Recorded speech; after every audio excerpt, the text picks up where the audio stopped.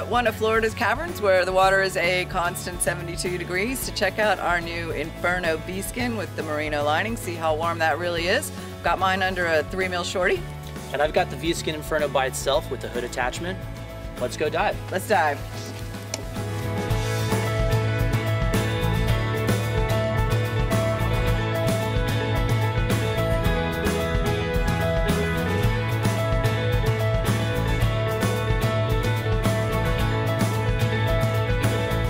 I put the Inferno V-Skin full suit under a 3 mil shorty and one of the features of the V-Skin is that it has stirrup straps and thumb loops so that if you're putting it on under another garment, it stays where you put it, it does not ride up. So that really helps get it on underneath another garment, although you don't have to wear it under another garment.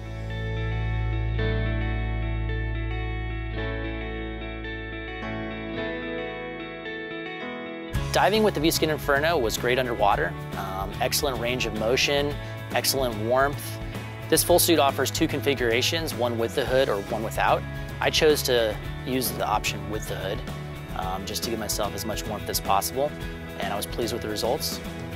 Underwater is where you really notice what's different about the V-Skin because it doesn't add buoyancy, so you get the warmth of a full suit, and I was only wearing the same amount of weight I wear with a bathing suit. That's huge. That's very unusual with a full suit.